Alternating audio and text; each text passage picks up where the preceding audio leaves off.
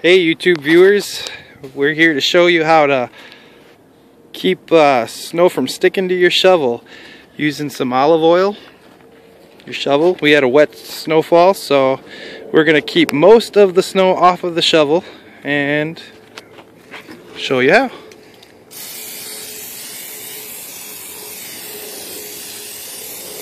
This is just olive oil.